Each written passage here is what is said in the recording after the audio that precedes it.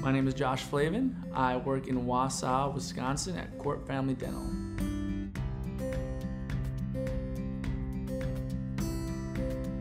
In the last year, things have changed quite a bit. Um, I would say that I went in, um, like everybody was, very new, um, ready to learn, and it, it, it still amazes me at how much I have learned in the last year, um, both clinically, professionally, leadership.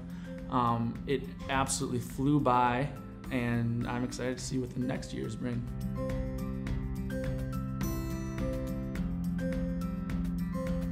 Invisalign is awesome. It's it's it's something that the patients need and the patients want, and it's a lot of fun to do. So the way I do it and the way I've had success with it is by really coordinating with the team and showing the team that I want to do Invisalign, and I think that a lot of patients need Invisalign and could benefit from it.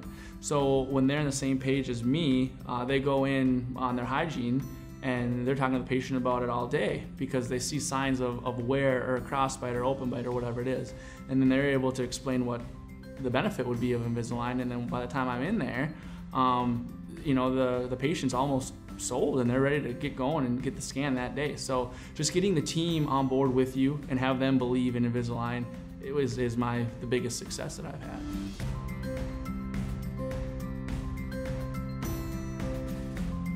you learn so much here, and then as you'll go, the doctor leads and all these CEs that they'll, that they'll offer.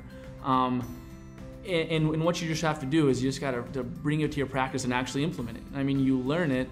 You know, if you don't do it within a week or two of going back to practice, you're probably not going to do it. So, first patient you see that needs a molar endo or needs Invisalign, talk to them about it, and really try to get them to do it.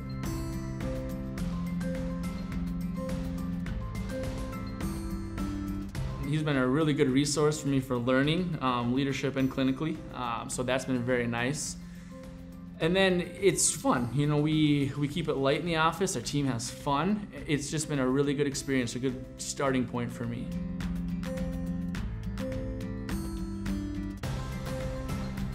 One thing I tell them um, is that Heartland Dental offers a lot more than other DSOs do. You will have opportunities to, to, take CEs. You will have the opportunities to, to, to get the products you want. And it's, you have a lot of freedom in your own practice. You are the boss, yet you're supported, you know, at anything you need, whether it's, you know, administration or whether it's, you know, help from another doctor because you have a case that you don't understand or you just, you just aren't there yet. So it, um, it's beneficial both for your career, for your education, and I mean, financially, you're gonna do just well. You're gonna stay busy, you're, you're gonna do awesome.